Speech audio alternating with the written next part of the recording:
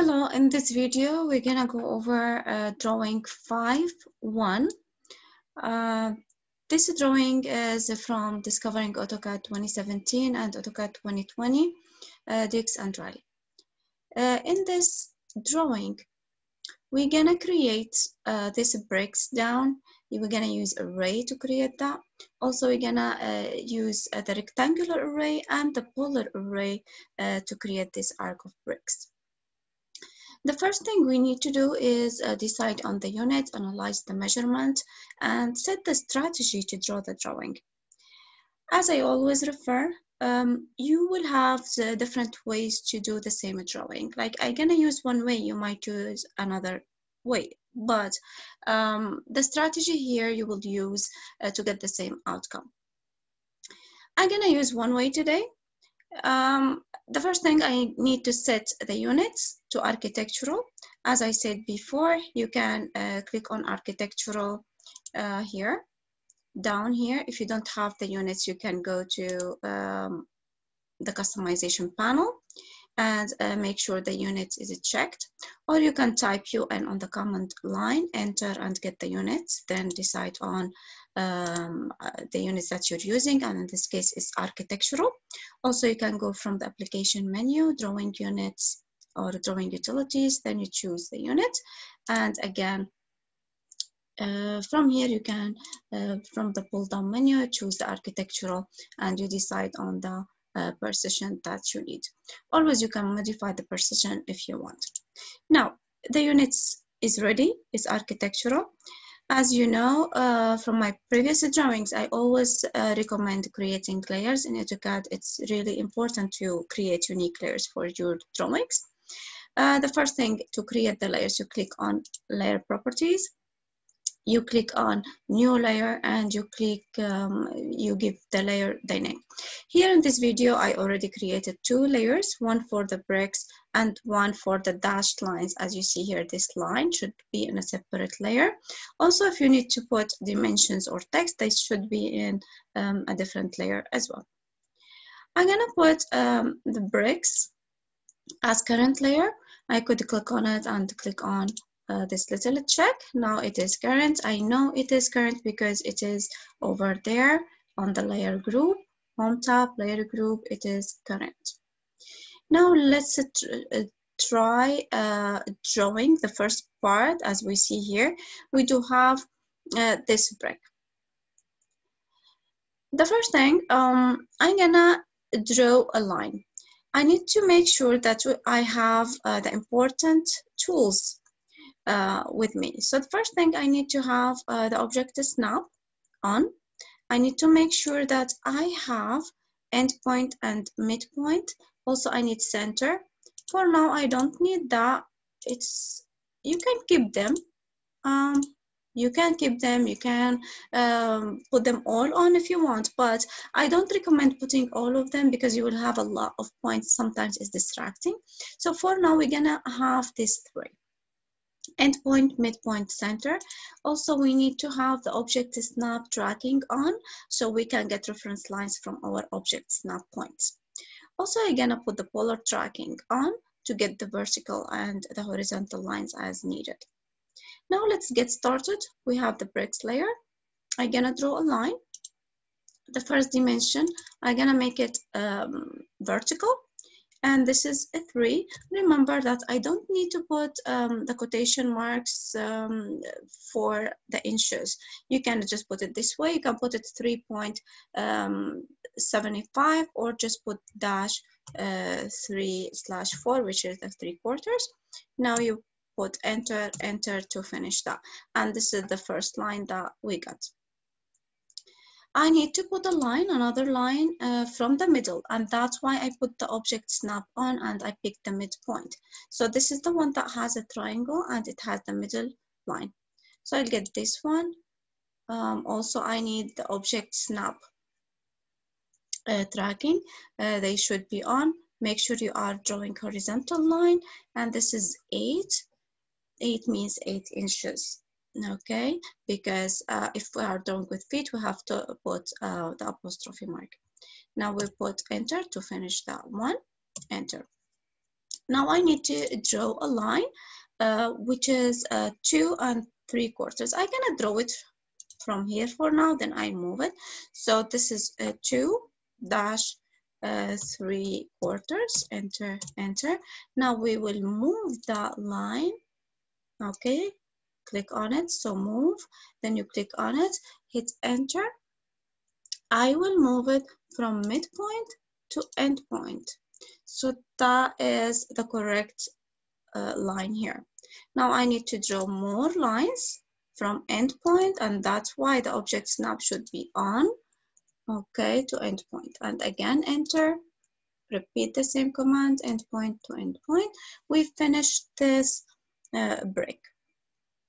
And this is the one that we need actually to make it polar array, okay? Now let's draw uh, the second brick.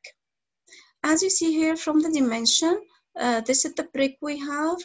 Uh, it's um, four by eight brick.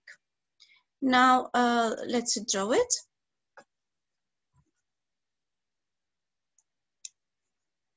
Okay, so let's start from the home tab, draw group. This is the rectangle.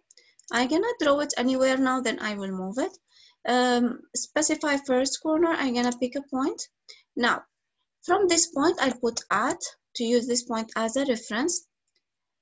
It's 8, which is the number on the x axis. So it's 8, then comma, the number on the y, which is 4. Okay, so it's at 8.4. If you want to draw it as polyline or line or another way, that's fine too. Now I'm gonna move from endpoint to midpoint. Okay, so this is what it should look like at this point. Now after this, I need to array this breakdown here.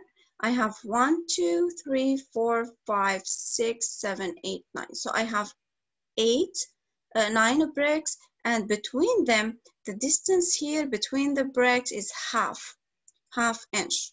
So here you go. I'm gonna take um, the array, polar, rectangular array, this one, and I will select this brick.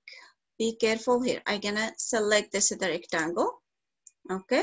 I finished selecting only this rectangle because we just need the ones on the bottom. Now select objects here, enter. Okay.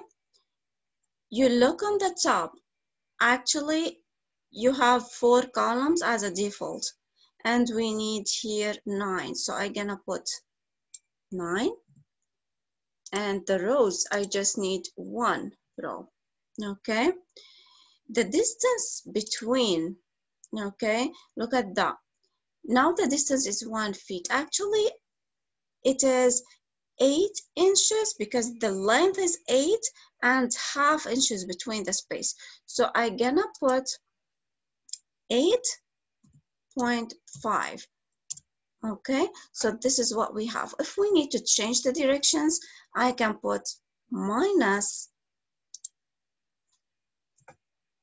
8.5 okay? And that will make it to the other direction. After that, um, let's make it for this one, I'm gonna make it associative.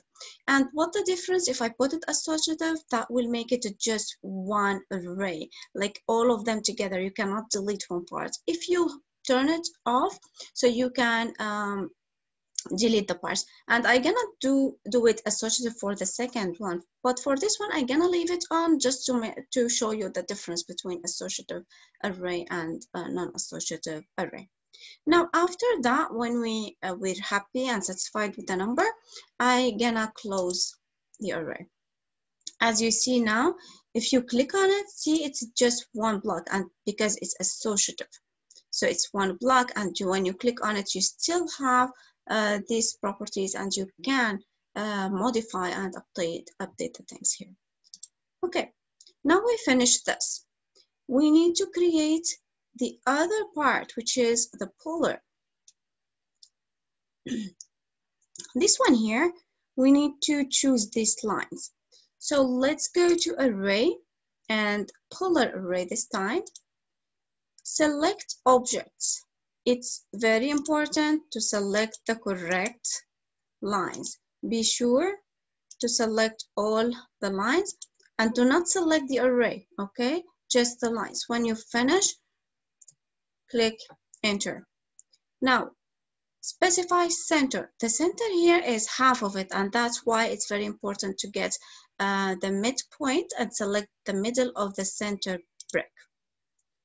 As you click on here, you find that you got four bricks. We need to modify uh, some of them. Actually, they are 14 each way, so 28 and one in the middle, 29 bricks. So this number here, the number of the item should be 29. We still need to, to make some more modifications. Uh, the fill angle should be 180, which is half of it. We don't need it to be 360. Now, if we keep that associative, we will not be able to delete the lines. As I said here we need to delete some lines.